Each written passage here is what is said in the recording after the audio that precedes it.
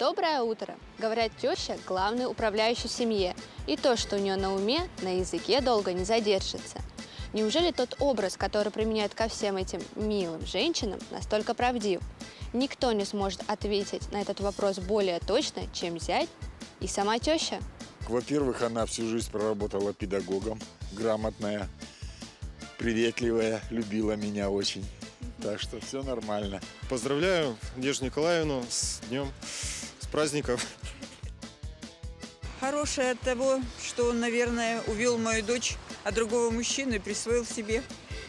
И теперь с ней живет счастливо и очень ее любит. Вот все. И я счастлива, что они счастливы. Вы не ссорились, не ругались? Нет, потому что жили отдельно. Все нормально, в этом секрет. Здравствуйте, можно вам один вопрос? У вас есть теща? Есть. А можете рассказать, какие у вас с ней взаимоотношения? Вы же сказали один вопрос. А да на работе все время торчат. До 9 часов. И дочка, и зять. Какие вот тут там этажи? Вот сижу дома, да, с детьми занимаюсь. То уроки делаем, то э, кормлю. Не ссорились никогда. Она была мудрая женщина. А можете описать, какая она? Невысокая, изящная, очень смешливая. Нормально, с детьми, с женой. А взаимоотношения у вас какие? Ну, хорошие достаточно. Поздравляю тещу с днем тещи. Ну какая была? Жила в Киргизии, я тут жил.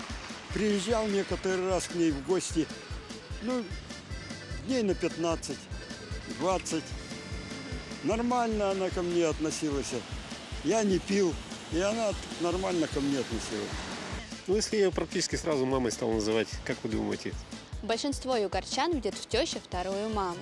Но для тех, у кого все еще не сложились теплые отношения, наступающий праздник – прекрасный повод это исправить.